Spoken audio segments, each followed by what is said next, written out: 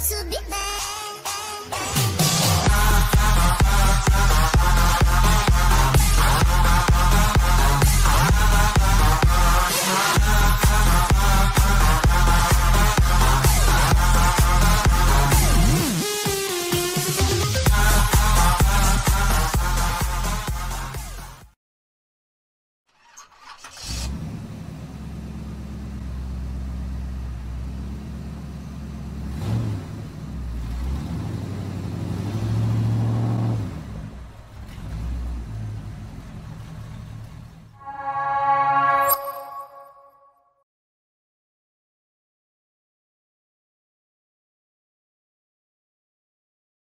Okej, w związku z filmikiem, który dodałem na temat DPF-u, kilka osób mi się odezwało, bym pokazał jak uniwersalnym programem odpalam tą procedurę DPF-a. Tam mówiłem jak dbam o ten DPF i tak dalej.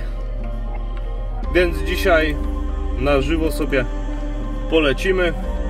Odpalę Wam procedurę, jest wieczór, także na spokojnie, szybsze drogi powinny być w miarę puste, nigdzie nie powinno się korkować, więc a też widziałem, że już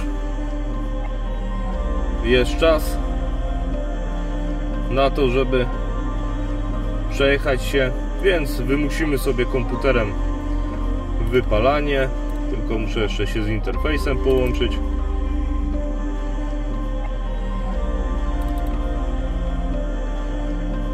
A jest połączony.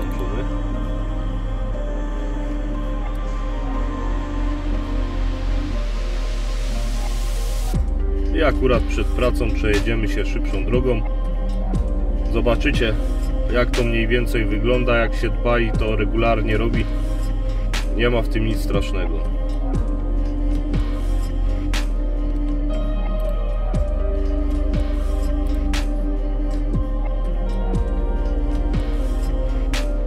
Ok, wchodzimy sobie.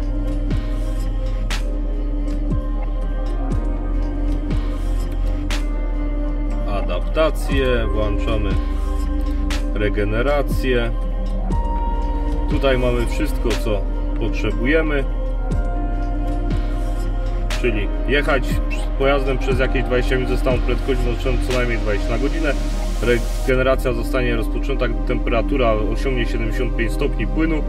Temperatura spalin 240 do regeneracji jest wyświetlany w oknie parametrów. Jeżeli regeneracja zostanie zakończona, zostanie ona wznowiona podczas następnej jazdy pojazdem. Na razie regeneracja jest wyłączona. Włączamy sobie start. Czekamy.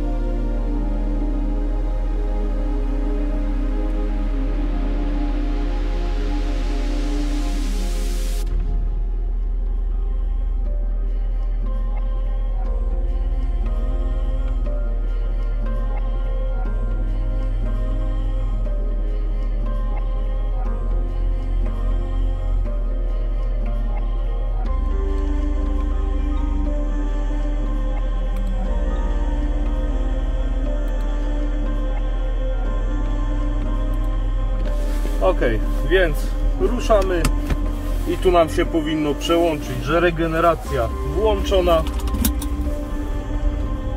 i po ponownym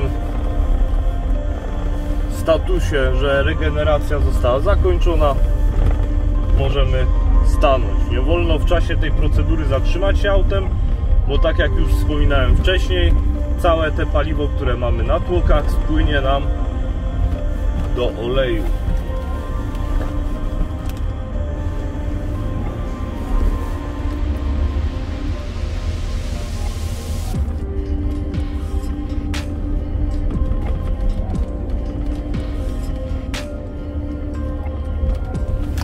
Przy okazji zobaczycie jak temperatury pójdą w górę. Jakie będzie. O, Już nam wskoczyło, że regeneracja jest aktywna.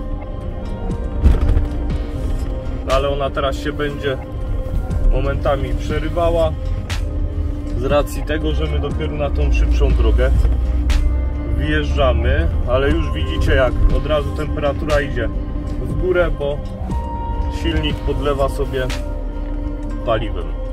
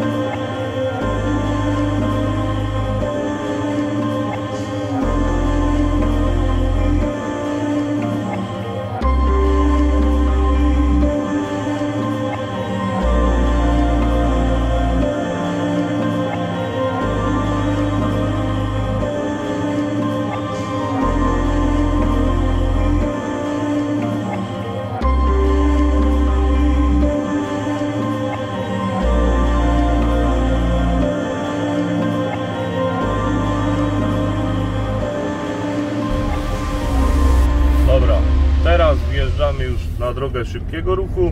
Utrzymujemy obroty powyżej 2000. Jedziemy ponad te 60 na godzinę, tak jak piszę. I nie powinniśmy mieć żadnego problemu. Ja sobie zawsze daję tak ponad 2000 i włączam tempomat.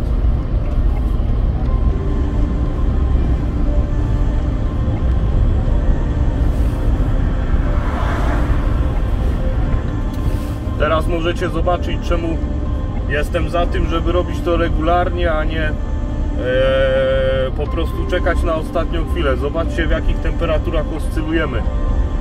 500-600 stopni.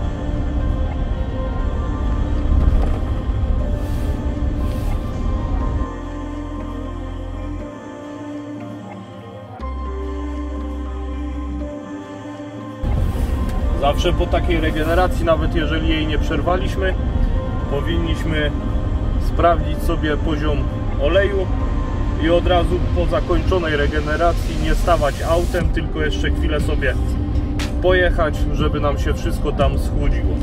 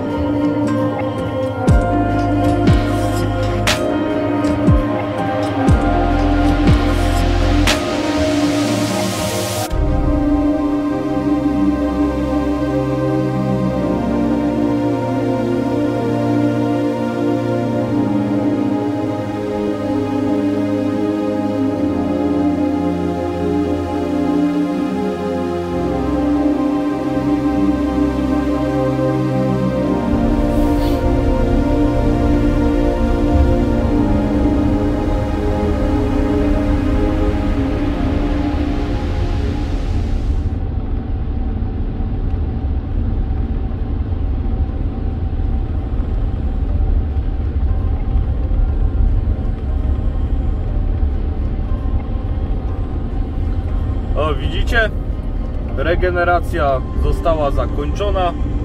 Wyłączyła się, temperatury spadają. No i co? Można uznać, że filtr mamy wypalony. Teraz zrobimy sobie jeszcze kawałek trasy, żeby auto schłodzić. Ja Wam tu zostawię do samego końca, aż dojadę do pracy. Podgląd, żebyście widzieli jak to wygląda, jakie są temperatury podczas wypalania, a jakie są podczas normalnej pracy silnika. No i co, chyba w tym momencie już mogę powiedzieć, że jeżeli chcecie, to zostawiajcie lajki, subskrybujcie kanał. Jeżeli ktoś jest chętny, niech wpada na Patronate'a. Oczywiście przypominam, że e, z kodem rabatowym MAXI5 macie 5% zniżki. No i co? Trzymajcie się do następnego. Hej!